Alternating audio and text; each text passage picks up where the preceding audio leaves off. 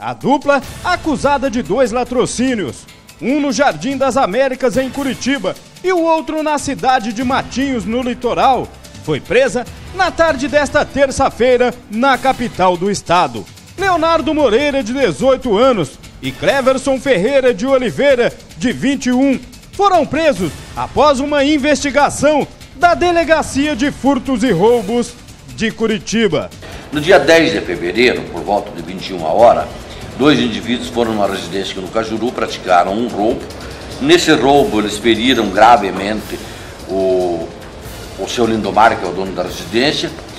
Ele não foi socorrido, não resistiu, entrou em óbito e feriram com gravidade também um filho de 14 anos do seu Lindomar. Ele se, se salvou e tal, e eles fugiram. No dia 11, veja bem, menos de 24 horas depois, esses mesmos indivíduos, em tese são eles, sim, foram praticar um roubo a um uma panificadora em Matinhos.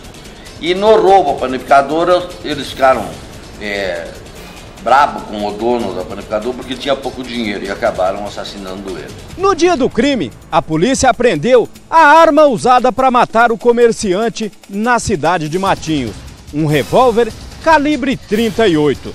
E segundo o delegado, Dr. Rubens Recalcate, da Delegacia de Furtos e Roubos de Curitiba, o trabalho da criminalística foi muito importante para solucionar este caso.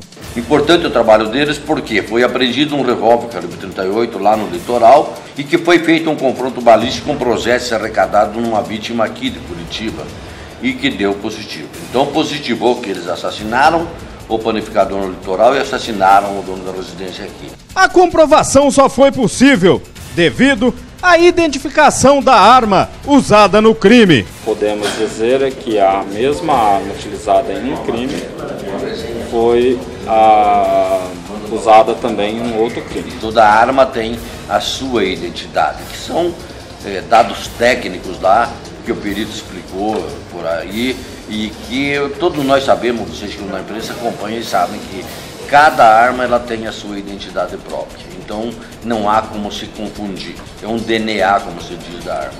A, a polícia tem outros dados, outras, outras provas de que eles participaram, que não convém a mim informar aqui nesse momento que não é importante.